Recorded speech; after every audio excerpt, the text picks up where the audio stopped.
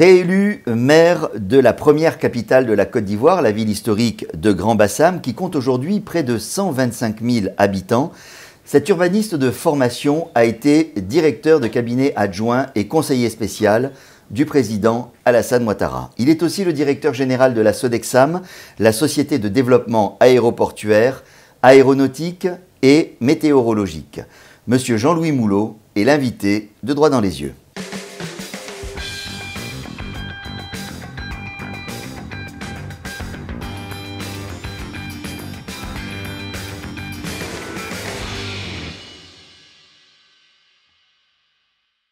Bonjour Monsieur le maire. Bonjour Monsieur Di Nacera. Merci beaucoup d'avoir accepté notre invitation. C'est un plaisir. Et tout d'abord, félicitations pour votre réélection avec près de 45% des suffrages. Tout à fait, merci. Ce n'est pourtant pas une commune facile ni une terre d'élection pour votre parti, le RHDP. À quoi est-ce que vous attribuez spécifiquement votre victoire?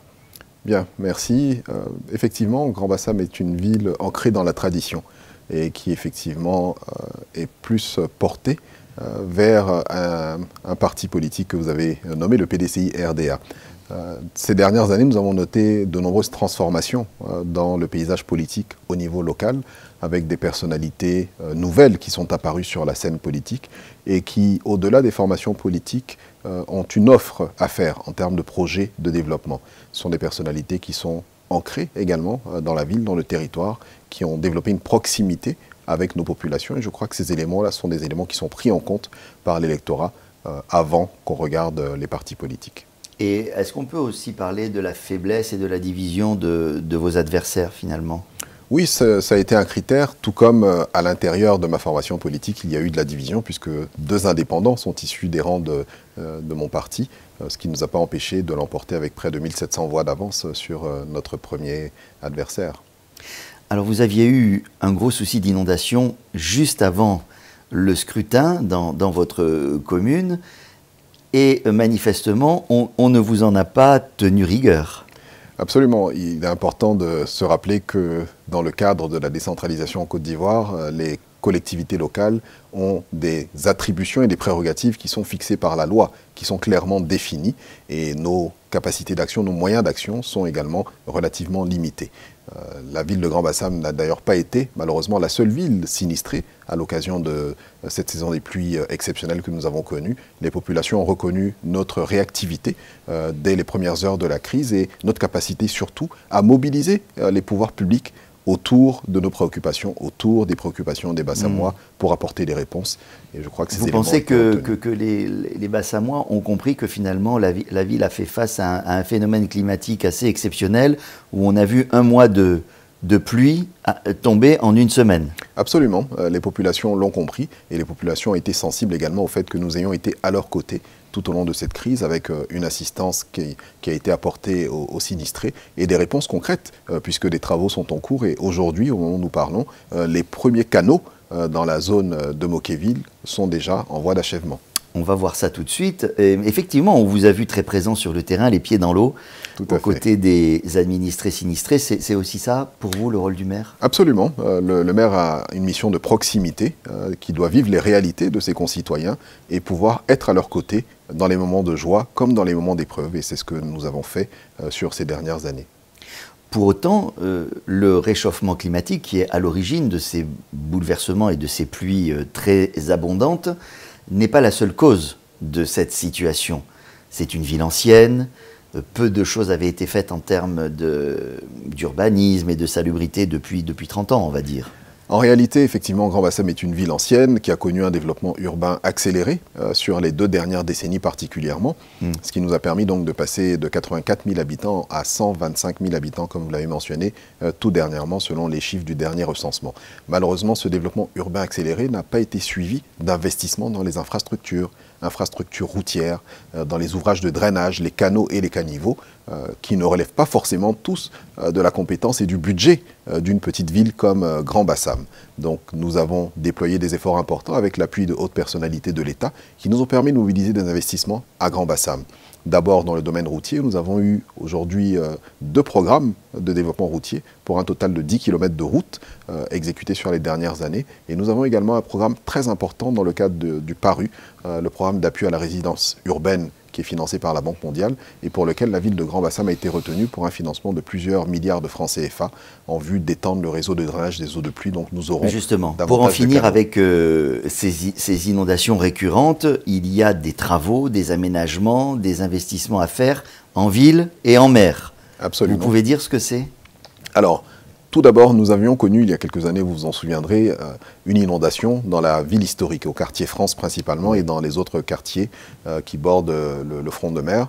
Et là-dessus, donc, grâce à l'appui de l'ex-premier ministre, de regretter mémoire Abadougon Koulibaly, et de l'ex-vice-président Daniel Kablan-Duncan, nous avions pu obtenir l'accord du président de la République pour un investissement de près de 22 milliards de francs CFA en vue de l'ouverture définitive de l'embouchure, donc euh, qui est le canal qui va permettre la communication entre la lagune et la mer et d'évacuer le Parce que le fait que l'embouchure soit, soit bouchée, justement, Absolument. Euh, qu'est-ce que ça implique? Eh Ça implique que lorsqu'il y a un trop-plein au niveau de la lagune, l'eau va se déverser dans la ville. Il faut savoir que Bassam est le point bas, en fait, pour euh, la Comoé, accueille les eaux euh, qui vont euh, venir de toute la partie nord du pays et même au-delà de la partie nord de la Côte d'Ivoire, du Burkina Faso.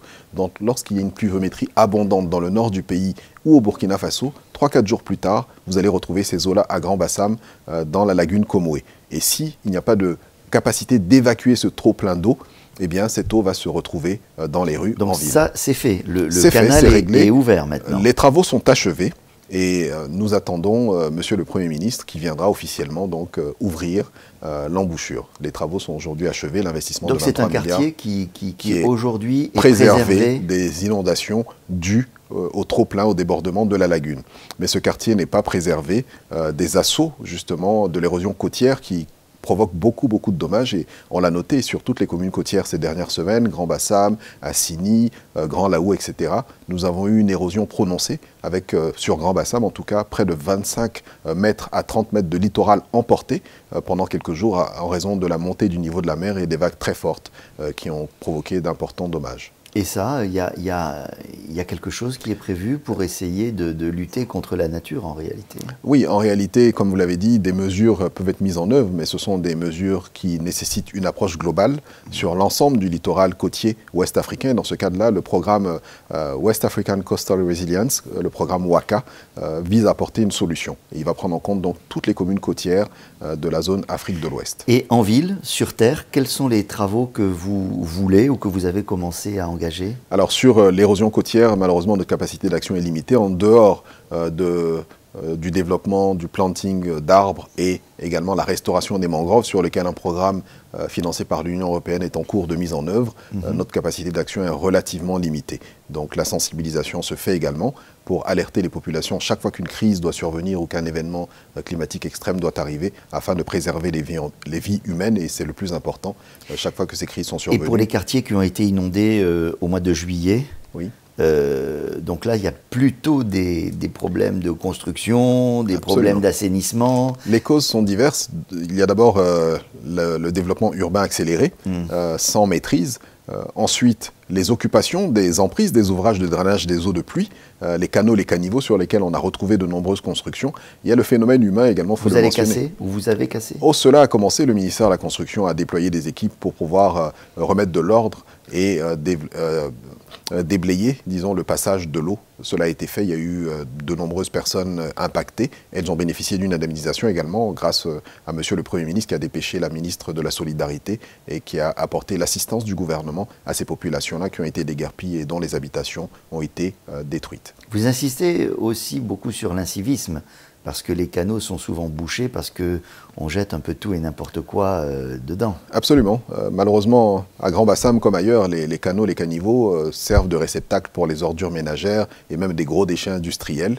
Et cela explique également en partie les inondations que nous avons connues. Et nous continuons le travail de sensibilisation à l'endroit de nos populations pour pouvoir permettre à ces ouvrages-là de jouer leur rôle d'évacuation des eaux de pluie. Donc vous sensibilisez d'un côté, mais en même temps vous êtes obligé chaque année de payer un récurage euh, de ces canaux et ça vous coûte euh, quelque chose de Absolument. L'entretien des caniveaux relève donc des, missions des mairies et la mairie de Grand Bassam le fait chaque année en amont de la saison des pluies.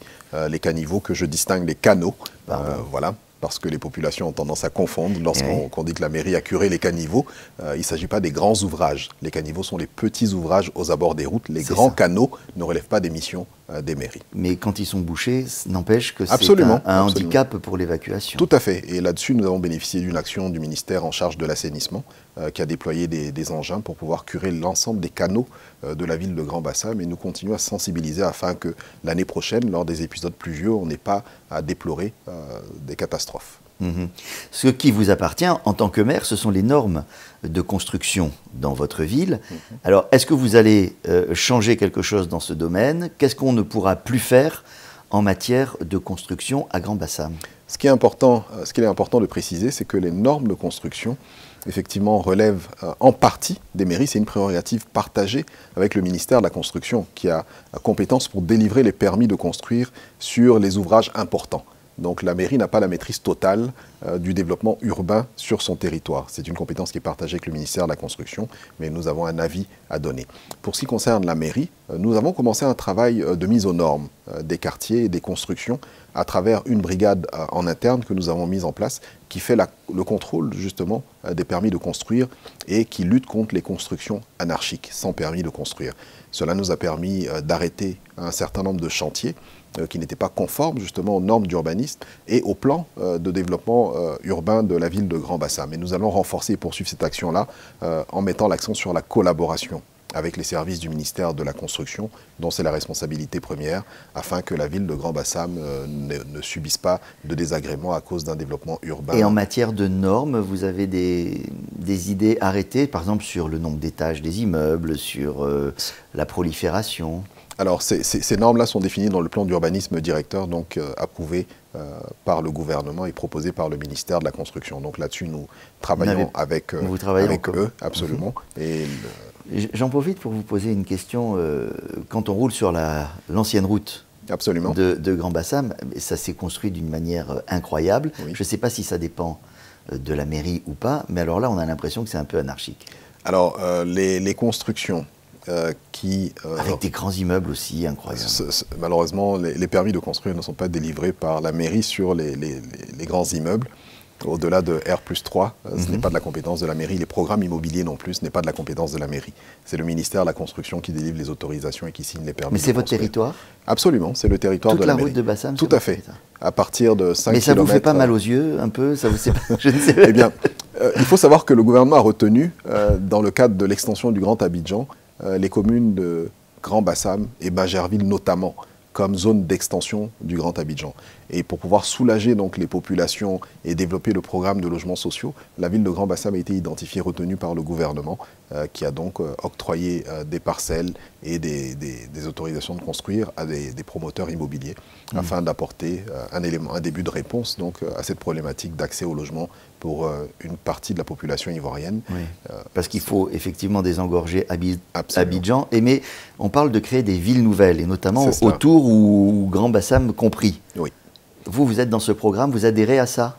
Évidemment. À l'idée, hein, je veux dire. Évidemment, euh, la ville nouvelle, mais ça dépend de ce qu'on met dans la ville nouvelle. Lorsqu'on parle de ville nouvelle, ça veut dire que ce sont des normes nouvelles, de nouvelles manières de penser la ville, de, nouvelles, de nouvelles manières de la développer et de vivre pour les citoyens. Ville nouvelle, ça signifie qu'on fait la promotion euh, de la mobilité douce, euh, qu'on essaie de lutter contre la consommation excessive des énergies fossiles. Ça signifie qu'on intègre la durabilité dans la construction des bâtiments en, en se basant sur les ressources naturelles, sur l'énergie solaire, etc., sur la récupération des eaux de pluie. Donc, quand on parle de ville nouvelle dans ce sens, oui, euh, j'adhère, mais euh, chacun a sa définition de la ville nouvelle. Donc pour clore ce, chapitre euh, et pour terminer sur les inondations, on a fait un crochet par la construction. Tout à fait. Euh, mais j'ai l'impression que cette euh, question des inondations, c'est quand même le grand chantier prioritaire de votre début de, mandat. Absolument. Et je me réjouis à cet effet que nous ayons pu obtenir donc ce, financement d'un programme important, comme je le disais, qui va renforcer le réseau de drainage. Mais je ne perds pas de vue l'importance de poursuivre la sensibilisation de nos populations parce que de nombreuses inondations et de nombreuses catastrophes que nous vivons trouvent leur cause dans l'action humaine. Il est important de le souligner, tant que nous n'aurons pas réussi à sensibiliser les populations, à les amener à adhérer à une certaine vision de la ville et du vivre ensemble, il sera difficile de lutter contre ces phénomènes extrêmes. Je voudrais revenir un tout petit peu sur votre dernier mandat, celui qui s'est achevé. si vous deviez faire une sorte de, bilan, comment vous qualifieriez ce premier mandat? Intense. Je dirais que c'était un mandat intense au plan politique, beaucoup d'adversité. En termes d'action également, le mandat était intense puisque euh, nous avons travaillé sur 4 euh, ans et demi quasiment, en raison des circonstances que vous connaissez. Le début du mandat était euh, particulièrement mouvementé. Et il y avait des contestations. Bon, absolument. Donc, intensité également parce que nous avions à cœur de faire nos preuves, de démontrer que nous pouvions apporter un plus à la ville de Grand Bassam. Et nous avons été élus sur la base d'un programme qui comportait des engagements. Et je suis vraiment fier qu'aujourd'hui, plus de 80% de ces engagements aient été tenus. La ville de Grand Bassam a connu de nombreuses innovations. Et quand je parle d'intensité... Justement, qu'est-ce que vous avez engagé de structurant euh, dans la commune et que vous voulez continuer à déployer, par exemple eh bien, sans, faire un catalogue. L'un des axes prioritaires euh, de, notre action lors de ce premier mandat, c'était la promotion du tourisme euh, à Grand Bassin, puisque c'est l'un des piliers du développement économique de notre ville. Et quand on parle de tourisme, c'est surtout le tourisme balnéaire qui attire les visiteurs à Grand Bassin. Nous avons pu mettre en place une brigade de salubrité des plages pour entretenir le littoral et sensibiliser les usagers de la plage. Cela s'est fait en collaboration avec euh, une ONG euh, qui nous a permis également de mobiliser des appuis de partenaires euh, qui ont investi dans des équipements, du matériel roulant pour aider cette brigade de salubrité des plages. Nous avons également pu doter la ville de Grand Bassam d'un plan guide touristique. Nous avons déployé sur la quasi-totalité des bâtiments euh, de la ville historique euh, des QR codes qui permettent de faire des visites virtuelles, que ce soit à partir de la page de la mairie ou alors en physique lorsque vous êtes ah, présent devant le bâtiment. Donc on se promène en ville, Absolument, avec son smartphone. Euh, avec son smartphone. Tout à fait. On prend le QR code et vous avez l'explication du bâtiment. Exactement. Exactement. Donc ce sont autant d'innovations pour ne parler que du tourisme. Comme un guide virtuel. Exactement. Et nous avons également le projet Bassam à vélo qui a été euh, mis en œuvre. Aujourd'hui, on peut faire euh, la visite de la ville de Grand Bassam, la ville historique, à vélo. Euh, donc, parlant de promotion de la mobilité douce, c'est également un acquis que nous avons.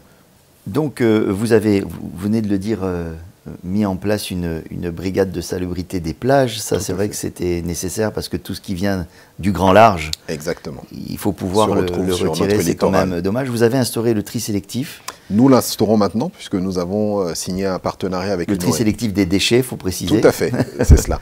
Nous avons euh, signé un partenariat il y a deux mois avec une ONG justement qui intervient dans ce domaine-là. Et nous sommes en train de mettre en place euh, les infrastructures nécessaires pour pouvoir commencer le tri sélectif dans les semaines à venir. Et ça ira également avec une phase de sensibilisation dans les établissements scolaires. Vous avez conscience que la, la salubrité et la propreté de la ville, c'est une, une attente, une demande importante des, habitants de, Grand Bassam. Absolument. ils continuent à trouver la ville un peu la, ville, effectivement, euh, a connu une évolution de ce point de vue-là. Euh, et je veux d'ailleurs à ce titre mentionner euh, que pour l'année 2022, au titre du prix national d'excellence, la ville de Grand Bassam a reçu le deuxième prix pour la ville la plus propre de la part du ministère de la Salubrité.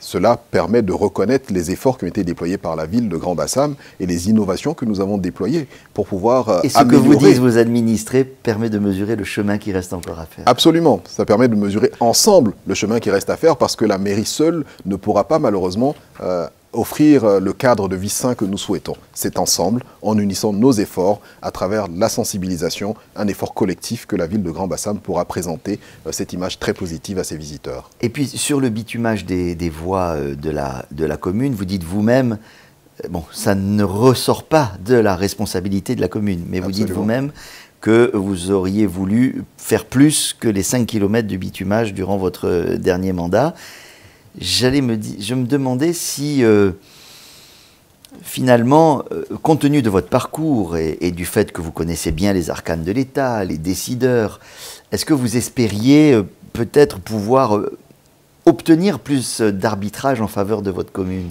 Eh bien, évidemment, on souhaite toujours plus pour sa commune et ses habitants. Et nous nous sommes battus, nous sommes demeurés engagés sur ces cinq dernières années pour obtenir le maximum pour la ville de Grand Bassam. Et je crois qu'en termes d'investissement, nous ne sommes pas à plaindre puisque je parlais tout à l'heure de l'ouverture de l'embouchure, 23 milliards d'investissements, le lycée d'excellence Alassane Ouattara euh, qui a été implanté à Grand Bassam. Nous avons aujourd'hui le Centre national d'oncologie et de radiothérapie euh, qui est en cours de construction à Grand Bassam encore. Euh, je crois que les investissements structurants qui feront de la ville de Grand Bassam un pôle de référence d'abord en matière touristique, en matière d'éducation et en matière de tourisme sanitaire également sont en train de se mettre en place. Donc nous pouvons nous réjouir, même si on aurait souhaité plus, la ville de Grand Bassam n'a pas été oubliée par les autorités. Monsieur le maire, vous voici engagé euh, donc dans un deuxième mandat. Absolument. Et je voulais vous demander, mais à quoi prioritairement vous souhaitez le consacrer? En d'autres termes, quels sont vos objectifs pour euh, les cinq ans à venir? Eh bien, évidemment, étant urbaniste, la première des choses sera l'amélioration du cadre de vie. Parce que Grand Bassam est une ville de référence, une ville qui reçoit de nombreuses personnalités nationales et internationales. Il est important d'assainir euh, le cadre urbain. Donc nous allons remettre de l'ordre euh, au plan urbanistique et pouvoir, euh, dans les premières semaines déjà de notre mandat, libérer les emprises des voies publiques de toutes les occupations anarchiques. Donc un travail de sensibilisation a commencé auprès de l'ensemble des occupants avant que nous ne passions à l'action. Ensuite, nous allons, euh, toujours dans le cadre de l'amélioration du cadre de vie, renforcer les infrastructures de loisirs au bénéfice de nos populations. Donc Grand Bassam a connu il y a un an le premier jardin public aménagé aussi surprenant que cela puisse paraître. Et il se trouve où? Il se trouve à l'ex-CIE et est très très fréquenté par les populations, de jour comme de nuit, jusqu'à 23h. Les gens y sont en famille, prennent de l'air et les enfants peuvent faire de la balançoire, du toboggan, etc. Et aussi surprenant que ça puisse paraître, c'est la première fois à Grand Bassam. Donc nous allons renforcer ce type d'infrastructure. beaucoup de villes aussi, déjà. Malheureusement. Et nous allons renforcer ce type d'infrastructure-là, mhm. euh, en mettre à disposition des populations de la plupart des quartiers, des terrains de sport aménagés également. Il y en a eu trois euh, sur les cinq dernières années. Il y a une demande très forte d'avoir des terrains de sport pour occuper sainement notre jeunesse. Nous allons poursuivre. La politique de l'emploi des jeunes également, qui ne relève pas principalement évidemment des villes, euh, qui relève de l'État, mais sur lesquelles les villes ont également un rôle à jouer. Nous allons la renforcer et nous avons l'avantage d'avoir le VITIB sur le territoire de la ville de Grand Bassam. Euh, nous avons déjà eu une rencontre avec le nouveau directeur général qui est tout à fait disposé à nous accompagner dans le cadre de notre politique de promotion des talents locaux, des compétences locales pour que les jeunes de Grand Bassam tirent le meilleur profit de la présence euh, de ce pôle industriel. La cohésion sociale euh, semble être aussi au cœur de vos préoccupations. Pourquoi? Eh Est-ce qu'il y a un problème particulier ou c'est une vision des choses? C'est une vision parce que Grand Bassam est une ville cosmopolite vous connaissez l'histoire de notre ville et aujourd'hui, elle accueille euh, de nombreuses communautés euh, expatriées, étrangères, ivoiriennes qui cohabitent en parfaite harmonie. Mais il est important de consolider cette cohésion-là parce que les crises passées nous ont montré que la cohésion peut demeurer fragile et peut être euh, fragilisée. Alors dans ce cadre-là, vous voulez créer une maison des anciens Absolument. et un conseil municipal des jeunes un conseil municipal des, jeunes, absolument, qui sera mis en place, mais en plus de cela, nous aurons un conseil consultatif euh, pour les, chefs de village et les chefs de communauté qui nous permettra donc de les associer à la prise de toutes les décisions importantes concernant la vie euh, de notre petite commune. Mhm. Les jeunes, évidemment, ont un rôle important à jouer. Ils sont membres du conseil municipal, ils sont bien représentés puisque le président de la jeunesse communale figurait sur notre liste. Mais au-delà de cela, il est important de leur donner la parole et le, les, les, les, habituer à l'exercice de responsabilités publiques. À travers le conseil municipal des jeunes, c'est l'occasion pour eux donc euh, de prendre leurs responsabilités et de contribuer justement euh, à la vie publique à Grand Bassam et de faire entendre leur voix euh, de manière formelle. Vous en avez un peu parlé, la, formation et l'emploi des jeunes. Il y a aussi les femmes qui, qui, sont, qui sont aussi dans, dans vos préoccupations. Mais qu'est-ce que vous aviez engagé Qu'est-ce que vous voulez engager Et qu'est-ce que vous pouvez faire en tant que maire? Au, titre de la jeunesse et des femmes. Ouais. Ce que nous avons déjà fait, c'est de mettre en place une plateforme des compétences, qui est une base de données informatique, qui nous a permis de recueillir euh, les CV euh, des personnes en ligne, des demandeurs d'emploi, des personnes en quête de formation ou de stage, parce que nous avons réalisé que de nombreux jeunes de la ville, une fois qu'ils obtiennent euh, leur BTS ou leur diplôme, ont besoin d'un stage pour valider. Mmh. et ce stage-là peut relever du parcours du combattant pour euh, certains jeunes. Donc nous avons mis en place cette plateforme des compétences qui permet aux jeunes euh, d'exprimer leurs besoins en termes d'emploi, de renforcement de capacité, de stage. Et à travers la plateforme des compétences, ce sont 560 euh, jeunes qui ont bénéficié d'emplois directs. Parce que les, entreprises viennent consulter cette plateforme ou vous-même vous, les mettez en relation? Dans le maire que je suis démarche les entreprises. Ah, ah à chaque fois que j'ai écho qu'une entreprise s'implante sur mon territoire, que ce soit à travers la signature d'un permis de construire ou à travers d'autres canaux, je rencontre le premier responsable de cette entreprise-là et je l'informe que la mairie dispose d'une plateforme de compétences, donc une base de données de CV. Et je pense que pour une entreprise qui vient s'implanter sur le territoire bassabin, il est plus avantageux de recruter localement, ne serait-ce que pour des questions de transport et de ponctualité de ses employés, que d'aller chercher du personnel à Abidjan. Et cela donc nous a permis, comme je le disais, d'insérer près de 560 jeunes. Et nous continuons, euh, puisque nous avons rencontré le nouveau directeur général du VITIB, qui a de nombreuses usines pharmaceutiques notamment, qui continuent à s'implanter. Et ce sont autant d'opportunités emploi pour les jeunes de la ville que nous entendons euh, exploiter. Le rayonnement économique de votre ville, c'est votre expression, euh, doit être accentué.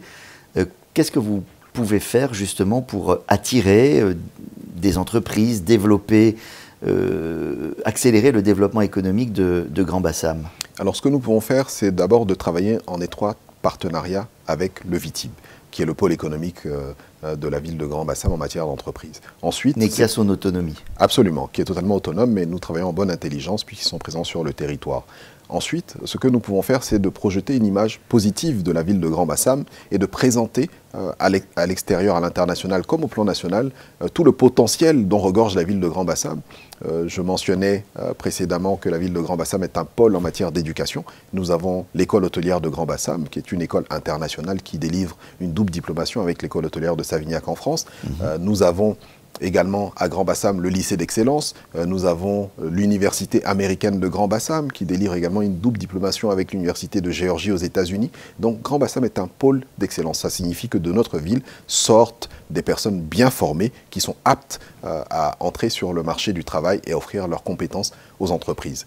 Et est-ce que vous pouvez imaginer, proposer, je, crois avoir lu ça dans vos documents, des, euh, des facilités euh, pour les entreprises, pour les aider à s'implanter Nous le faisons déjà, euh, dans la limite des possibilités d'une mairie. il s'agit essentiellement de, de... faciliter l'identification d'un site pour l'installation d'entreprises. Nous le faisons, nous sommes en contact avec de nombreux investisseurs qui mhm. s'orientent vers la mairie pour pouvoir donc identifier un site avec toutes les garanties de sécurité foncière pour pouvoir investir dans notre ville. Euh, c'est à cela que peut se limiter l'intervention de la mairie et faciliter également les démarches administratives euh, lorsque c'est nécessaire pour permettre à l'entreprise de s'implanter. Est-ce que c'est ainsi que vous pensez pouvoir euh, agir sur l'emploi? Vous ne pouvez pas avoir une politique de l'emploi dans la ville, ça c'est impossible. Non, la ville. Il, n'empêche que l'emploi reste une préoccupation importante Tout à fait. Dans, votre ville, pas seulement celui des jeunes, mais l'emploi en général. Mhm. Donc votre manière de, d'accélérer le recrutement, c'est ça, c'est d'attirer des entreprises et d'essayer de, d'expliquer que sur place, vous avez des compétences. La bonne approche, euh, lorsque vous disposez de moyens limités en tant que commune et que des prérogatives définies par la loi sont également contraintes, euh, c'est de travailler en synergie, en collaboration avec toutes les parties prenantes. C'est ce que nous faisons. Le ministère en charge de la promotion de la jeunesse est un partenaire clé. Nous avons signé d'ailleurs il y a trois mois une convention de partenariat euh, justement pour le financement des projets jeunes, euh, un partenariat innovant. Nous sommes la première ville à l'avoir fait. La ville de Grand Bassam a mis 20 millions sur la table et nous avons sollicité le ministère pour mettre 30 millions sur la table en vue de mettre en place un fonds pour le financement des micro-projets des jeunes de la ville de Grand Bassam. Donc c'est de travailler en partenariat, en synergie avec tous ceux et celles qui ont une incidence sur le devenir euh, de notre territoire. On va reparler un petit peu du tourisme, mais avant, je voulais euh, vous demander euh, quel type d'activité vous aimeriez particulièrement accueillir, en plus de votre tradition de, de, de, commune eh touristique? Qu'est-ce que vous recherchez? Ce que nous recherchons, c'est de renforcer déjà ce qui existe donc en matière de tourisme, en matière de culture également. Nous avons travaillé sur les dernières années en vue de faire de Grand Bassam la capitale des arts et de la culture. Cela s'est fait à travers euh, euh, l'instauration d'un festival de cinéma, les rencontres cinématographiques du phare, que nous avons mis en place en partenariat avec la ville de Cannes. Euh, nous avons également lancé le festival du design de mode de Grand Bassam, Grand Bassam Fashion Day, euh, qui a vu euh, tous les grands stylistes, Patéo, Gilles Touré, euh, Ibrahim Fernandez, etc., venir dans notre ville, renforcer les capacités des acteurs locaux dans le domaine de la mode et du stylisme, et également faire un défilé de mode qui permet de promouvoir les talents locaux. Nous avons également euh, attiré à Grand Bassam des événements de portée nationale et internationale tels que le FEMUA décentralisé. Et nous avons d'autres initiatives que nous soutenons telles que la fête de l'Abissa qui est de renommée internationale et d'autres festivals sur lesquels la ville de Grand Bassam Donc c'est plutôt sur la culture que vous Sur la culture principalement euh, qui constitue notre atout principal euh, et qui est porteuse de, de, développement et d'opportunités pour nos populations. Ensuite, l'éducation, je le mentionnais, mhm. et le tourisme, mais pas dans le sens de tourisme traditionnel comme on l'entend. Nous regardons de plus en plus justement sur le développement euh, de Grand Bassam comme destination euh, de tourisme sanitaire. Aujourd'hui, nombreux sont... Qu'est-ce que vous appelez ça, un tourisme sanitaire? Eh bien, pour des soins de santé. Aujourd'hui, nombreux sont les Ivoiriens et les L'air est pur à Bassam? L'air est pur, le cadre est agréable. Et lorsque le centre d'oncologie sera achevé, puisqu'il s'agit d'un hôpital régional uh-huh. de traitement des malades du cancer, quand je parle de région, donc c'est pour toute l'Afrique de l'Ouest, ça signifie que nous aurons des centaines de patients qui viendront séjourner sur la durée à Grand Bassam pour se faire traiter de leur cancer. Donc il faut développer tout un écosystème autour de cela pour les accompagnants, pour les familles qui viendront également. Et ce sont des opportunités d'investissement dans l'immobilier, dans l'hôtellerie, dans la restauration, dans le développement de services. Donc Grand Bassam a cette opportunité-là et peut se positionner comme une destination touristique euh, pour euh, les soins de santé. Le, tourisme est multidimensionnel. Absolument. Euh, il y a aussi le tourisme d'affaires. C'est déjà il y a énormément de, colloques, de, de séminaires qui sont. C'est déjà un acquis pour nous et nous travaillons à renforcer justement ce, ce, potentiel. Est-ce que vous avez le, les structures d'accueil hôtelières suffisantes? En tout cas, il y en a plein, mais est-ce qu'elles ont toutes le niveau qu'il faut? Non, pas encore. Et nous travaillons justement avec Côte d'Ivoire Tourisme qui a retenu euh, la ville de Grand Bassam comme ville pilote euh, dans le cadre de sa nouvelle politique de dynamisation du tourisme euh, ivoirien pour pouvoir donc accompagner les acteurs du secteur touristique et hôtelier à une montée en puissance pour offrir une meilleure qualité de service à nos visiteurs et afin que Grand Bassam puisse être cette ville de référence. Un petit mot de vos artisans, parce que ça, ça fait partie de, la tradition de, Grand Bassam. Ils sont réputés dans tout le pays et au-delà euh, même. Ils sont une vraie vitrine touristique de, Grand Bassam, mais ils disent souffrir, notamment depuis euh, la pandémie de Covid. C'est cela. Est-ce que vous les soutenez? Comment vous pouvez le faire? Alors, de quelle manière nous soutenons les artisans? Tout d'abord euh, en parrainant la Semaine internationale de l'artisanat de Grand Bassam, qui se tient chaque année au mois d'août. Euh, la ville de Grand Bassam est le sponsor principal. Et cet événement-là, aujourd'hui, nous permet de recevoir à Grand Bassam, euh, à chaque édition, près de 14 pays participants. Donc ça donne de la visibilité à la ville et ça permet également aux artisans de faire valoir leur potentiel et leur savoir-faire et euh, évidemment d'augmenter leur chiffre d'affaires. Au-delà de cela, nous travaillons avec le ministère en charge de l'artisanat qui a la responsabilité de mettre en place le nouveau village touristique pour lequel une réserve administrative existe. Et donc nous donc Ça va être où ça? Euh, juste en arrière du village actuel. Une réserve existe, euh, une déclaration d'utilité publique a été prise par le gouvernement et le gouvernement cherche les partenaires pour pouvoir euh, construire ce village artisanal moderne afin de recaser nos artisans et puis d'offrir un espace qui va leur permettre d'abord de renforcer leurs capacités, de faire des formations également, mais de mieux valoriser leur savoir-faire et d'avoir une belle vitrine pour Grand Bassam et pour la Côte d'Ivoire. Mhm. Alors il y a un dossier cher au cœur des Ivoiriens qui est aussi lié au tourisme mais qui semble un peu au point mort, c'est euh, la rénovation de la vieille ville qui est classée au patrimoine mondial de l'UNESCO. Pourquoi ça n'avance pas? Pourquoi c'est compliqué? Euh, Qu'est-ce qui se passe? Eh Parce que ça ne figure même pas dans vos, dans vos, dans vos projets, ça, ça. ne figure pas dans nos projets pour la simple raison, en fait, que les prérogatives de la ville de Grand Bassam sont relativement limitées en matière de gestion de la ville historique. Il faut savoir que euh, la ville historique euh, relève à titre principal euh, du ministère en charge de la culture. Donc nous avons développé une collaboration intelligente avec la ministre Françoise Remarque qui a impulsé une nouvelle dynamique et ensemble donc nous avons dessiné les sillons. Et il y a un premier modèle positif qui a été mis en œuvre qui est celui de la construction du musée d'art contemporain de Grand Bassam en partenariat avec, avec, une banque privée, tout à fait. Et c'est un modèle-là que la ministre entend dupliquer et proposer à d'autres opérateurs pour pouvoir donc euh, valoriser. Donc c'est par ce biais-là, on va dire maison par maison, avec un objectif particulier pour chacune il, faut toujours démarrer par euh, un, un, premier pas, par un exemple, parce qu'il y a une part de risque et il y a une forme d'inconnu pour des investisseurs à travers ce modèle réussi de partenariat public-privé entre l'État et un investisseur privé.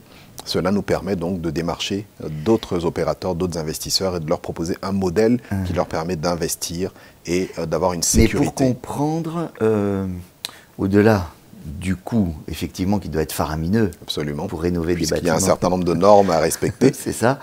Euh, quelle est la difficulté du dossier? La, difficulté, Il est juridique, il est... Il y a plusieurs dimensions.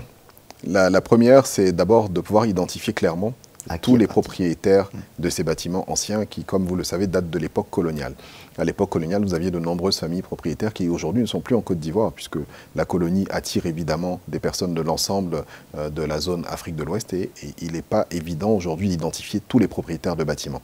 Ça, c'est le premier défi. Le deuxième défi, une fois que vous avez identifié ces propriétaires, c'est qu'ils aient la capacité de mobiliser des investissements et la volonté également de pouvoir euh, valoriser leurs biens si euh, ils le souhaitent. Le troisième défi, c'est euh, un défi juridique, et vous l'avez euh, mentionné, euh, c'est souvent l'inexistence de documents ou l'insuffisance de documents relatifs à ces biens-là. Ce sont les principaux défis auxquels doivent faire face les gestionnaires de la ville historique. Mais comme je le disais, il y a un certain nombre de pistes de réflexion qui été engagées en partenariat avec le ministère de la Culture et j'ai bon espoir que ce dossier connaîtra des avancées. Donc à vous entendre, on n'a pas renoncé à rénover les bâtiments de la vieille ville. Absolument pas. C'est un engagement de l'État de Côte d'Ivoire vis-à-vis de l'UNESCO. Et la ville de Grand-Bassam, qui est la première bénéficiaire de cette politique de rénovation, évidemment, soutient euh, cet engagement-là. Et nous travaillons aux côtés de la ministre de la Culture. Et comme je le disais, il y a un premier exemple réussi qui devrait euh, attirer d'autres personnes euh, physiques ou morales pour pouvoir investir dans la ville historique de Grand-Bassam. Beaucoup de personnes doivent être assurées par vos propos. Finalement, monsieur le maire, si on se projette à 5 ans, comment est-ce que vous voyez euh, votre ville? Dans 5 ans, euh, mon rêve pour Grand Bassam, c'est d'avoir euh, une ville d'abord où le cadre de vie est assaini et amélioré. une ville qui, en dépit de sa proximité de la capitale économique Abidjan, conserve son identité de ville balnéaire, de ville touristique, une identité d'une petite ville à taille humaine où les populations se connaissent, où un esprit de famille est préservé mais une petite ville où les infrastructures éducatives, sportives, sociales sont une réalité et on n'a pas besoin de venir à Abidjan pour disposer d'un certain nombre de services. Voici notre rêve pour la ville de Grand Bassam dans les cinq années à venir et je ne doute pas qu'avec la volonté, avec le dynamisme de l'équipe que je conduis, nous y parviendrons. Nous arrivons doucement à la fin de cet entretien. Euh, les Ivoiriens connaissent mal en réalité les prérogatives des maires. Vous-même, vous l'avez dit à plusieurs reprises dans cette interview, euh, ah, les, possibilités de la mairie en la matière sont limitées.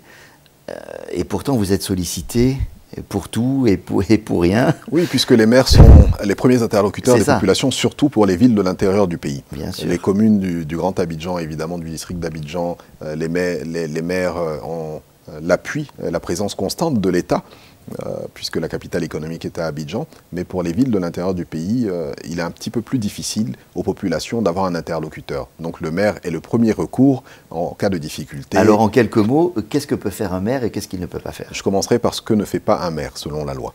Le maire ne gère pas les ordures ménagères. Il n'a pas de prérogative en matière de salubrité. Il n'a ni la compétence selon la loi ni le budget. Le maire n'est pas chargé du bitumage des voies neuves. Le maire, effectivement, est chargé du reprofilage des voies en terre. Euh, de sa commune à l'intérieur des limites communales. Le maire n'est pas chargé de la gestion des canaux de drainage des eaux de pluie. Le maire est chargé de l'entretien des caniveaux, donc des petits caniveaux. Euh, le maire n'a pas de prérogative sur les grands ensembles immobiliers, les grands programmes de développement immobilier. Cela relève encore de la compétence du ministère de la Construction. Le maire a une compétence limitée en matière de sécurité. Cela relève du ministère de l'Intérieur et de la Sécurité. Le maire gère la police municipale dont les compétences sont bien encadrées par la loi et qui ont des missions clairement définies. Ils n'ont pas les mêmes prérogatives que la police dans certains pays comme en France, etc.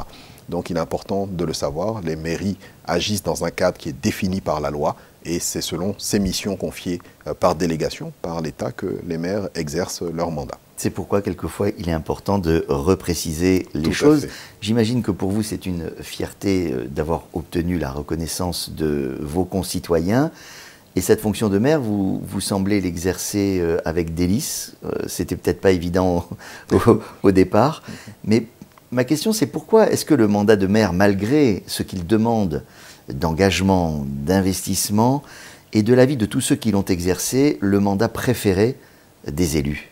Eh bien, peut-être parce que ce mandat de maire vous offre la possibilité de développer une réelle proximité avec les populations et de pouvoir poser des actions qui ont un impact direct euh, sur la vie de vos populations. C'est vous décidez, vous voyez tout de suite l'impact. C'est ça. Et vous pouvez donc transformer euh, un environnement urbain et puis avoir un impact sur une communauté à la différence des législateurs qui sont au Parlement et qui vont voter des textes dont l'incidence peut se faire ressentir sur euh, le moyen terme ou le long terme. Les actions des mairies euh, s'inscrivent dans le court terme puisque le mandat est de 5 ans et que vous devez, vous devez délivrer des résultats sur lesquels vous serez jugé au bout de 5 ans. Voici la différence et cette proximité-là, l'exigence d'être à la disposition des populations est assez euh, contraignante, certes, mais c'est gratifiant également puisque ça nous permet euh, de voir souvent des sourires, de la reconnaissance lorsqu'on arrive à trouver des solutions aux préoccupations des populations. Merci beaucoup, monsieur le maire. Merci à vous. Merci d'avoir partagé vos réflexions, vos projets et vos rêves. Merci, merci. Merci de votre attention. À la prochaine fois.